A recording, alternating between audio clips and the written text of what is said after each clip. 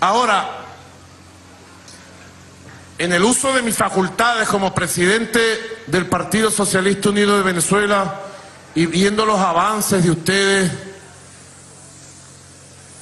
yo quiero en primer lugar proponer que la juventud del PSUV tenga una Secretaría General como primera autoridad al frente de la Dirección Nacional. Elijamos a un secretario general o una secretaria general.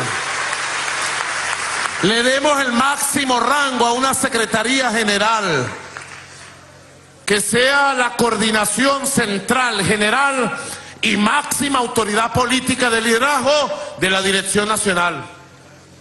¿Les parece buena la idea? aquellos que estén de acuerdo en crear, de acuerdo a los estatutos, desde el día de hoy, una Secretaría General, hacerlo con la señal de costumbre. Aprobado. Y yo quiero proponer a una mujer como primera secretaria general, a la compañera Robexa Poleo, como secretaria general de la Juventud del Partido Socialista Unido de Venezuela. A consideración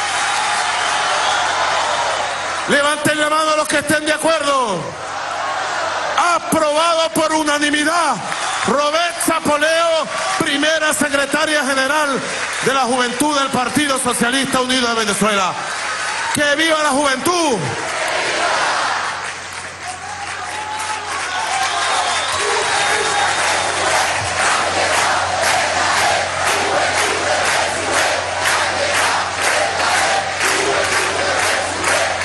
Sorprendí a ella.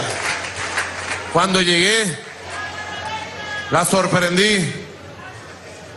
Porque la saludé y le dije, Roexa, te voy a proponer como secretaria general de la juventud.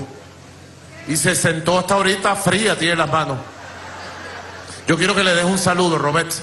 Una mujer de la cultura, una mujer de los barrios, al frente de la juventud, con un equipo unitario con un equipo poderoso, pero yo quería una mujer al frente. Yo quiero que la mujer tenga el poder político en Venezuela. Quiero que la mujer sea el futuro de Venezuela. Robexa, un saludo, por favor. Bueno, en primer lugar, presidente, agradecerle, agradecerle enormemente la confianza. Siempre he dicho que con el comandante Chávez yo aprendí lo que era el amor a la patria, lo que era formarme en valores, pero con usted aprendí a militar. Cuando muchos solo vieron a la cantante, usted vio en mí al actor político capaz de transformar, de construir, de conducir y de organizar. Por eso siempre le estaré agradecida, presidente. Como sé que le están agradecidos la mayoría de los jóvenes venezolanos que hoy asumimos liderazgo político en las distintas instituciones, movimientos, organizaciones juveniles. Hemos dicho que el Partido Socialista Unido de Venezuela es el partido más grande de Latinoamérica y en población, si se quiere, el partido más grande del mundo.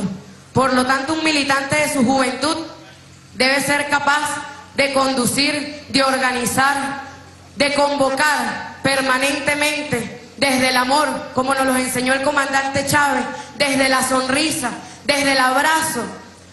Un líder y una lideresa debe tener la facultad de que otro se vea en él o en ella y se reconozca, vernos a los ojos y reconocernos, presidente.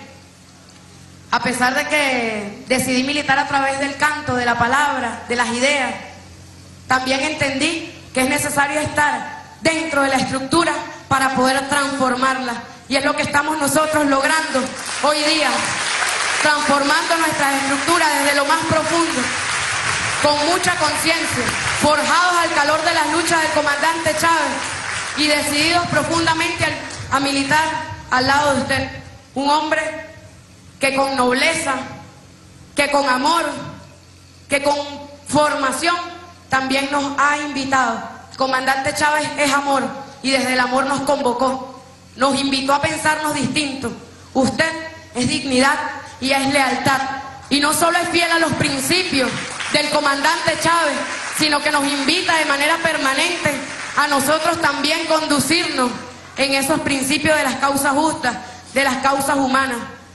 Nosotros hace poco tuvimos la oportunidad de hablar desde la Asamblea Nacional Constituyente, presidente, y decíamos y recordábamos que éramos los bicentenarios de aquellos que dieron su vida para que hoy nosotros podamos decir que somos libres, soberanos e independientes, que somos los bicentenarios de aquellos que allá en 1817 y 1819 hablaron de la visión bolivariana de la República, que nos invitaron a la organización permanente, a la transformación, a romper paradigmas, que somos los bicentenarios de aquellos que en 1821 consolidaron la independencia de Venezuela con Bolívar, que somos los bicentenarios y tuvimos la oportunidad de decirlo desde el Perú, presidente, en la cumbre de las Américas y la cumbre de los pueblos, donde no se le permitió por una decisión unilateral, excluyente, ilegítima, a usted participar. Pero desde allá, desde Perú, nosotros dijimos que donde estuviera un hombre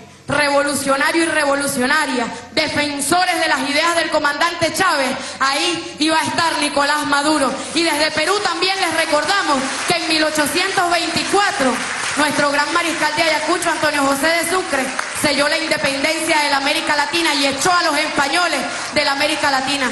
Por lo tanto, presidente, nosotros nos comprometemos con usted a que en 1830 vamos a celebrar la inmortalidad de Bolívar que en 1850 vamos a celebrar el tricentenario de Miranda y que le vamos a decir a esos dos grandes de la historia, Bolívar, Miranda, te cumplimos. Aquí está la generación por la que ustedes dieron la vida, por la que derramaron su sangre para que hoy nosotros podamos ser libres. Aquí estamos Chávez y te cumplimos. Y aquí estamos presidente con mucha dignidad y le cumplimos. Quiero finalizar con un poema de Tomás Borges, presidente que, invita al abrazo, a la sonrisa. Y él dice, mi venganza personal será el derecho de tus hijos a la escuela y a las flores. Mi venganza personal será entregarte este canto florecido sin temores. Y luego dice Tomás Borges, mi venganza personal será mostrarte la bondad que hay en los ojos de mi pueblo. Implacable en el combate siempre ha sido y el más firme y generoso en la victoria.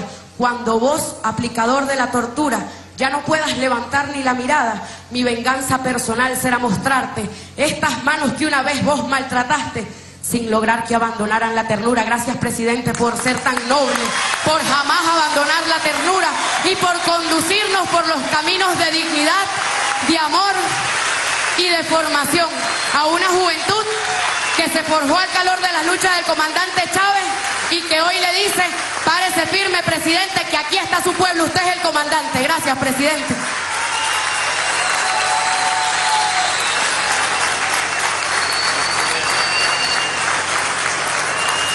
Muy bien. Desde la cultura, desde la alegría, desde la poesía, desde los sueños, desde los barrios. Sigue así, Roexa, desde la unión unión en la diversidad. Yo aprendí siendo muy jovencito una consigna vietnamita por allá en el año 78. Ninguno de ustedes había nacido. Una consigna vietnamita que decía, Robexa decía, unir a todo el que pueda ser unido contra el enemigo principal. Guíate por eso, Roesa. Une en la juventud del PSUV a todos los venezolanos, a toda la juventud que quiera convocarse. Desde el gran polo patriótico, Robexa, de donde vienes tú, el gran polo patriótico, convoca de manera unitaria a toda la juventud del gran polo patriótico. Y vayamos con esa alegría, con esa frescura, con esa poesía, con la Venezuela de verdad. Ustedes son la Venezuela de verdad. No se dejen quitar el futuro, no se dejen quitar los sueños. Es tiempo de resistir, es tiempo de luchar. Quiero, en esta primera sesión del tercer Congreso de la Juventud, pedirles, muchachos, decirles Ha sido una jornada muy provechosa, enriquecedora. Ustedes tienen una visión de país. Hay que ver que una generación completa ya tenga una visión de país.